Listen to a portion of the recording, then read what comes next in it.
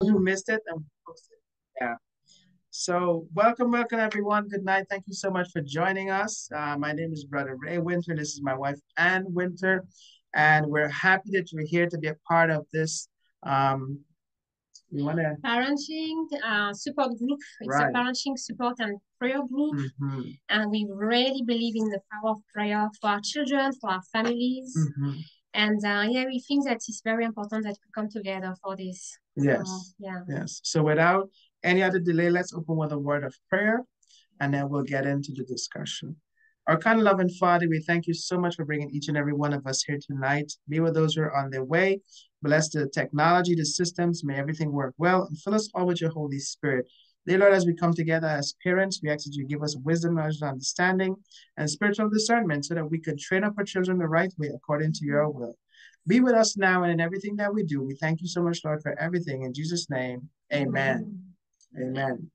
So, you want to do a little introduction about what it's all about, and then we'll. Yeah. Yeah. Yeah. Yeah. So, uh, this uh, group is for parents and uh, so, like I said, we believe in the power of praying together. Mm-hmm. Prayer is so, so, so uh, important.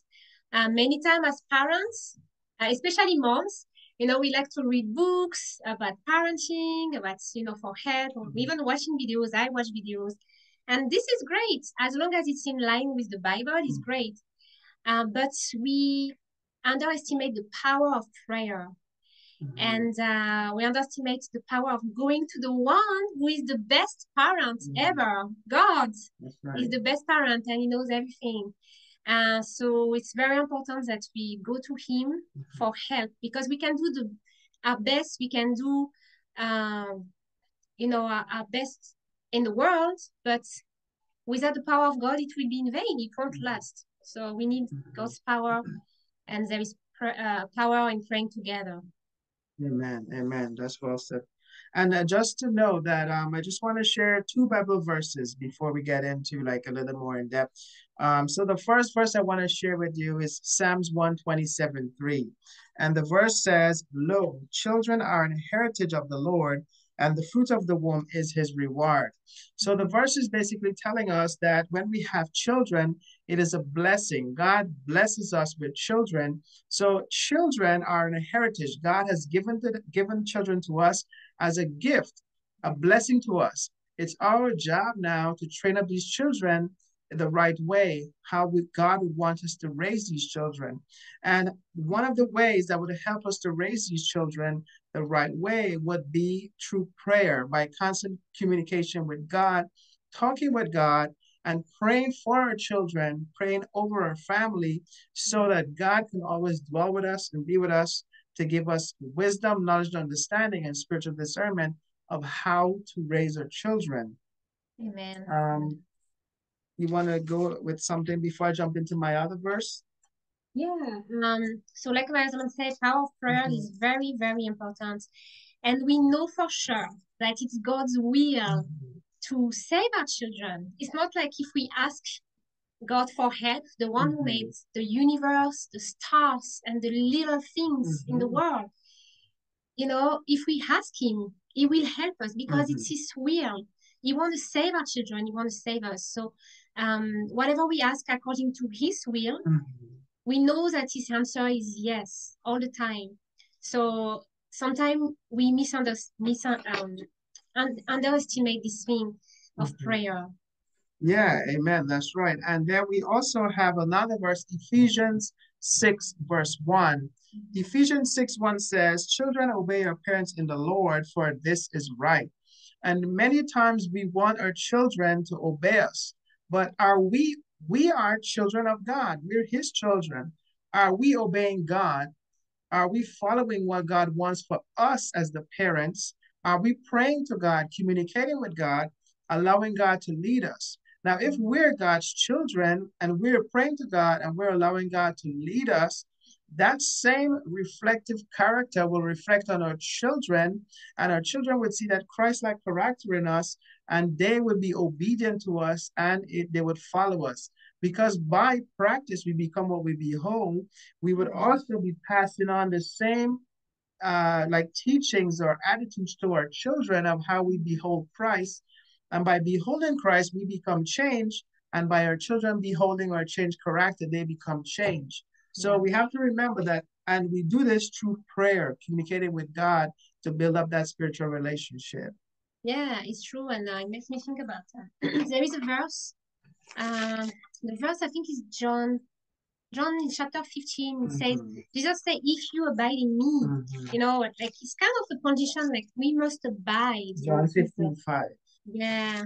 Yeah, John 15, 5, it says, it says, he that abided in me bring forth much fruit. Yeah, we, right. we need to abide in Jesus mm-hmm. as parents, um, to, uh, to obey him, uh, to pray for help, because without his help, we can't perfectly obey him, but surrendering to him, trusting him, having faith, and uh, and like my husband said then the children mm-hmm. uh, will be blessed by that. Yeah and many times we want to do things our way. We want to train our children our way and we're not we're all in this together. This is something we're all in it together and we're all asking for that guidance from god. But sometimes we need to just listen to god pray to god and let god give us the instructions of how we need to uh, raise our children also, we need to pray for pray for our family and read the word so that God will show us through the word how we can help our children. And there's something that my mother used to say, and I think you said as well, that a praying mother, my mother used to always say, the prayers of a mother for her children mm-hmm. never goes on empty ears. So the prayer of a mother is very, very strong, especially for her children. Yeah, amen. That's right. That's right. And also when we pray in Jesus' name, there is power over mm-hmm. the enemy. When we pray in the name of Jesus, we have authority. It's like we release the power, mm-hmm. you know, to God. Um, mm-hmm. you know, there is authority in the name of Jesus. So uh, we should not under- underestimate that again. The name of Jesus.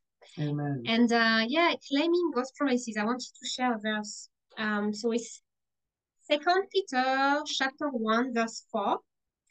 It says, whereby are given unto us exceeding great and mm-hmm. precious promises, that by this you might be partakers of the divine nature, mm-hmm. having escaped the corruption that is in the world through lust. So we have exceeding and great and precious promises of God. And these promises are for us. If we abide in Christ, if we trust Him, if we follow him mm-hmm. and we surrender to him, when we claim his promises, mm-hmm. when we claim these promises for our children, and we can be specific, God will answer these prayers. Mm-hmm. And we can even encourage our children to pray. That's a good mm-hmm. thing to pray actually for themselves and to claim these Bible promises. Mm-hmm. And uh, I personally started to do something. I have a little book that I get at Dollar Tree and I have uh, the name of my children, Nelson, and then later, a few pages later, I have Noah, and I take notes, you know, of the maybe little things that I want to pray for for them, and I mm-hmm. put Bible promises, you know, so it helps me. It helps me to um to see when God answers prayers, or to see, you know, what I want to pray for. It's very helpful. Amen. Amen. Yeah. So I don't know. Do you have anything else you want to say? You want to transition yeah. to questions? Well, I just want to say a, okay. few more things, but I don't want to do all the no, talking. No, go ahead. Go ahead. Uh, just say a few more things. Um, yeah, we need to have faith. Mm-hmm. We need mm-hmm. to have faith when we pray and believe, um, because uh, you know the Bible says without faith it is impossible to please Him, mm-hmm. uh, and we need to diligently seek God. And um, and on faith, the Bible yeah. also says in James faith without works is dead. But the works that it's talking about is believing. I'll try to find it. So, but you can go on in the meantime while I find that. Yes. Yeah, so we need to have the faith and the works of believing that God is able to help us. So when we pray, and I always say that pray believing that God will answer your prayers, mm-hmm. but He will answer your prayers according to His will, yeah. not to what you want the answer to be, to what God wants the answer to be for you and your family. That's right. And He will answer in His time too. Sometimes mm-hmm. we get discouraged very easily because we don't get the answer quickly. That's right. But God knows the time. God sometimes maybe you want to test or maybe allow things to happen for a good mm-hmm. reason. So we need to be patient and uh, uh, there is a verse in James 5, chapter 5, which is somewhere. Mm-hmm. Okay, okay. Uh, verse 16, it says, uh, so it starts with confess your faults one to one another and pray one for another mm-hmm. that you may be healed. The effectual fervent prayer of a righteous man availeth much. Mm-hmm. And uh, well, we are righteous by faith, and then mm-hmm. God help us to do the works. Yeah. But um, the fervent prayer it means that we need to be fervent, perseverant. Even in um, Ephesians six, you know, when he talks about the armor of God, mm-hmm. at the end it says, praying for all saints, mm-hmm. always with all perseverance. So we need to be perseverant. And if we have to pray every day for several months or maybe sometimes years, I heard stories of uh, mm-hmm. people who prayed for years for their children or for their family, and God and answered in this time. And I'm a living testimony of that because my parents prayed for me a very long time, and then yeah. I realized how much their prayer really worked out. So yeah. don't give up. Keep praying for your family, for your yeah. children. Pray over them as well. Um, God will make a way for your yeah. prayers. Yeah, exactly. All right. You so no, I'm good. I'm good because uh, we can proceed to question time if you if you have if you don't have anything else. Yeah, yeah, we can go to um question time. Okay. Uh, or we can discuss so if you have any questions or anything you want to discuss, mm-hmm. please feel free to unmute and ask your questions or we can discuss. Just one thing though, um, we don't you can we can discuss, but we don't want to discuss too much of like personal in-depth things. Yes, like little um, details. Children's life. right. So, but it, it can be an open thing. Yeah, but if yeah. it's a specific thing, that, um because we have the children. Yeah, you don't know who they might hear. So, and you don't want other people to know what's going on in your home. Yeah. So it can we can discuss, but not don't say it in the detail. Or you can say it in a third person, it's like sensitive, yeah. Right. If it's, it's sensitive, sensitive, don't open it. Yeah. but you can be a little bit specific. Right, exactly. Exactly. You know, you know right. I mean. so if you have any question or anything you want to discuss, please feel free to unmute. Yeah. This is our question and discussion time. Yeah. Or anything I have a question. This okay. is Sister Julie. Hey, Sister Julie. Um, things, uh, activities, mm-hmm. um, Sabbath afternoon after church, because we have mm-hmm. a small church mm-hmm. and there's not many children there. So um, sometimes we don't even go to church or we mm-hmm. go to another church if they have an activity for children. So what kind of things um, because today uh, the children well my children i should say they want to go on the computer. Mm-hmm. and they like to watch bible stories. For me i would rather read and and um sometimes we color you know and do things. So i'm looking for some other activities or if you know any um groups uh, of like that children are doing things on Sabbath mm-hmm. afternoon, especially because my children are under teenage years. So mm-hmm. I'm looking for suggestions. That's a good question, and that's something that uh, yeah, I, like I know a lot. Yeah, I had to mm-hmm. pray about this because since I when I became a Christian and I learned about you know the Sabbath and it's, it's such a great blessing, and I had to pray and also I well I read books and uh, I don't say I have the answer, but for us, for example, uh, well we we try to take walk in nature if the weather is okay, or do a nature puzzle, or like you said, read books. Sometimes we would put some. It happened we put TV and we put some Christian programs for the children. You know, we don't we try not to do it too long but we would love yeah we would love if children can come together like now the days are getting nice we can go join somewhere and do a mm-hmm. little hike with them and uh, organize something so they can enjoy the things of nature or like some kind of uh, ministry like some uh, last sabbath we went to the nursing home and they enjoyed it mm-hmm. um but uh yeah it's sensitive because it's supposed to be a, a, a day of delight for the children too and and god made them playful. So we, we don't want them to go crazy and at the same time we want them to enjoy and you know they have play in them. So it's so, a good question. so isaiah 58 13 said if thou turn away thy foot from thy sabbath from doing thy own pleasure on my holy day and call the sabbath a delight the holy day of the lord. So the sabbath is a delight. It's called a delight. It's a mm -hmm. day mm-hmm. where for kids especially and um you have to find a way to make the Sabbath a blessing for the children. You have to remember that they're kids, they're not adults like us. So it will be hard for them to uh, settle themselves. So what you can do, um, like when the weather is nice, you can go take a nature walk. And it's said that it's good for the children to do a nature walk on the Sabbath. This way they can see the beauty of God's in nature. It's talked about that. It, it's talked about that. One of my favorite writers now wrote that, that for children, the Sabbath should be a time when they spend it in nature. Even us, because we can relate to nature and we can see the power of God in nature. Also for us, if the weather is bad, we come home, we may put on um, Amazing Facts Kids. Uh, or sometimes we come home, we put Amazing Facts or It Is Written, John Bradshaw. We watch a sermon or we watch uh, um, Amazing Facts Children um, children or Trabian children program. We do that. All right, we do sometimes we do coloring as well. And then sometimes if the weather is good, we take a walk in the yard, we talk. But the, the thing is that you don't want the Sabbath to feel boring to them. You want to make it a day where they look forward to it. Like you have to implement things that they must be excited about the Sabbath. Yeah. Um, that is different from the yes.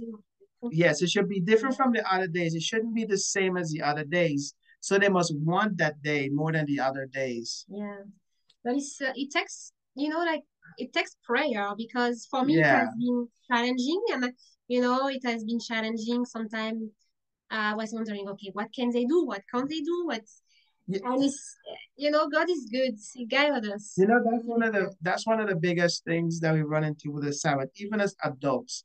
We spend so much time looking at what we can't, what we cannot do yeah. that it takes away our mind from what we can do. Mm-hmm. If if we have a prayer relationship with Christ, if we're in communion with Christ by prayer, and we're doing certain things, the Holy Spirit will tell us. You will feel it in your conscience because the Holy Spirit is telling you, "Oh, you shouldn't do that."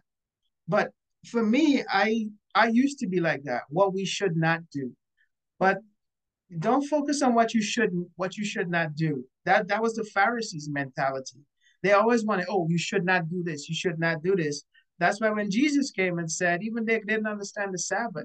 Mm-hmm. But look at the things that you can do that to make the yeah. Sabbath more a blessing and a delight and happy time for you as a family. Remember, yeah. it's about your family. It's not about outside, it's your family. What would fit for your family? Yeah, every family is right. Because what might fit for my family might fit for your family. So you have to make sure it fits for your family. Yeah, and uh, Jesus is the best example mm-hmm. uh, on Sabbath. Well, he went to the synagogue mm-hmm. and he mm-hmm. preached, but we see he was also uh, in nature with his disciples. You know, mm-hmm. when they were mm-hmm. working in the um, in the grain field, the grain field, and they even pick things. You know, some people might say, "Oh, they pick things," yeah, but they but pick things. They, they were say that. The Pharisees did say yeah. that. The, yeah. the, Pharisees did say they picked grain on the Sabbath. That's why he said yeah, the Sabbath was made for man. You see? and they they basically they took a nature walk mm-hmm. and uh, jesus did this healing a lot so he was in contact with other people that were not even going to the synagogue mm-hmm.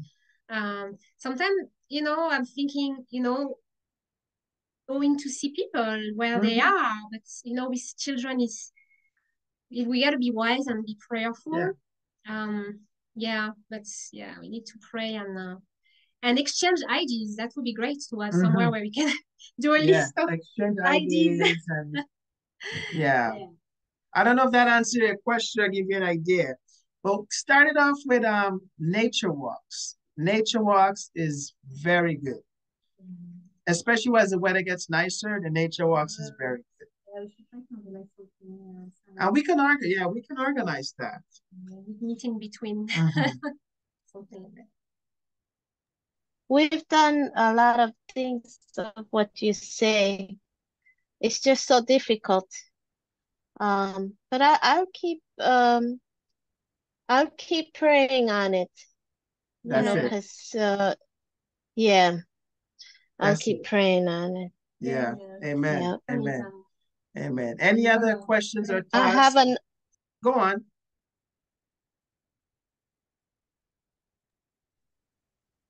I was gonna say about um the do you have any um uh, thought on, on the organized clubs that they make at the church? The Adventurers and pathfinders. Do you have any thoughts on those uh, clubs for the children?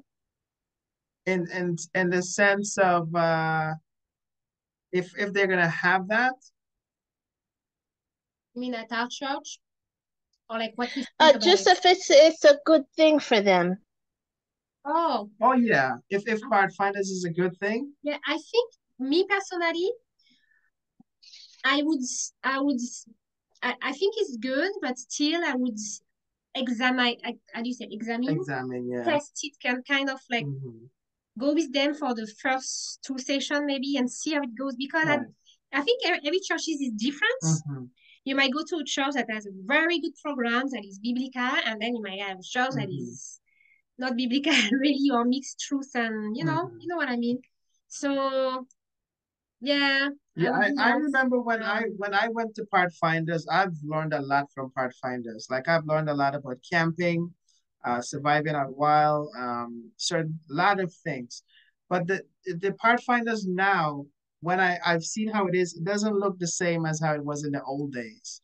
So if I would go with them for the first few months to see how it how the program is, mm-hmm. to see mm-hmm. what activities they're doing, yeah. and if it's a good structured church uh, with the, with Pathfinders, I think it's good for the children because Pathfinder kind of give me a lot of discipline. I learned how to iron my clothes, keep my shoes clean because we had we would have um, drill inspections so I learned how to dress neat, take care of myself through Pathfinders.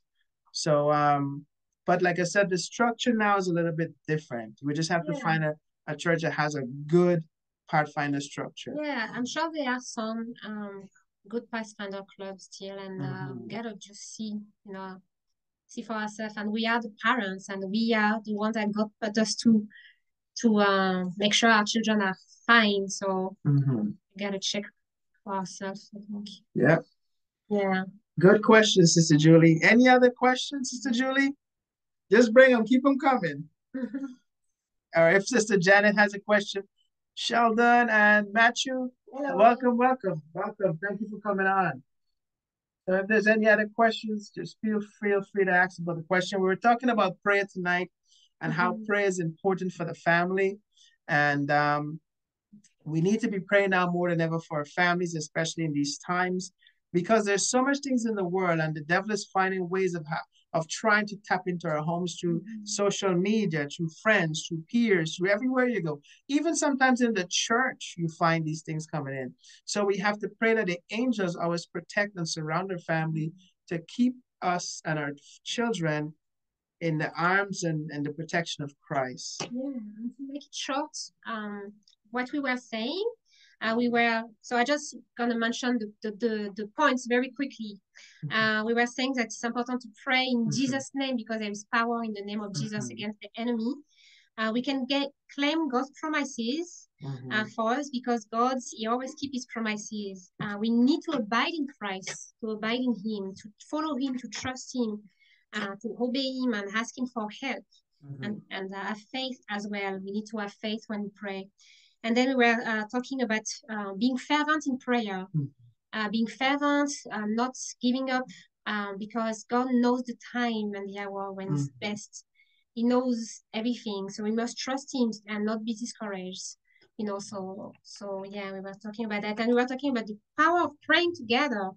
And there is a, a verse in Deuteronomy that says, uh, one man should um, chase away a thousand, two mm-hmm. men chase away ten thousand, so when people come together, it's like so there's power. There's power. Yeah. So, so yeah. yeah. So any other questions before we transition to prayer? Our next segment will be prayer. But if you have questions, please feel free to ask questions.